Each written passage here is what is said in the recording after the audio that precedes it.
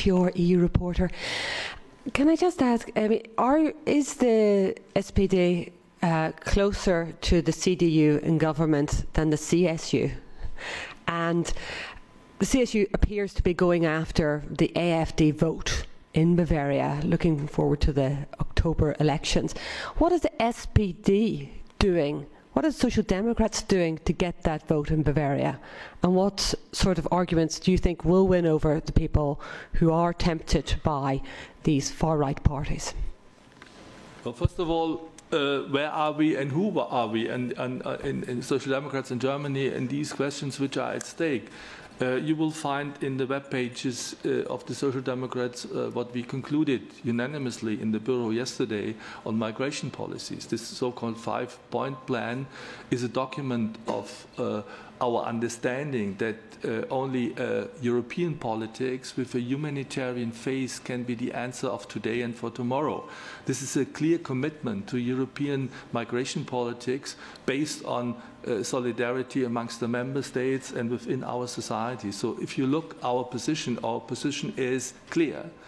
And the rest you know the whole story, how we got into this grand coalition, that it was not our first wish to enter that we took on because of also European responsibilities, etc., etc., also responsibilities for our country.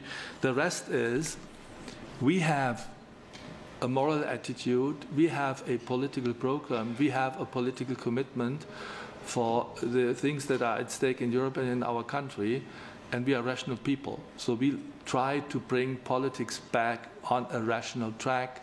Of course, we are full of emotions, but politics has to be about improving the everyday life of all people and it's not about symbolism. It's not about fake news. It's not about uh, also lying to people. You cannot tell that 20 uh, uh, problematic cases at the borders of Germany should be the reason that we because uh, Uh, the crash of the internal market or the crash of our mutual understanding of how to run migration in the European Union. This is stupid.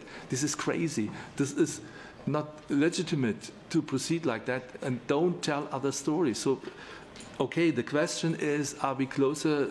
Well, I would say yes, since we would define ourselves as rational actors, we would appreciate if others are rational actors as well. And who, whoever impresses us with morality and, and uh, rationality is somebody we should talk to, uh, easier than to others, let me put it like that.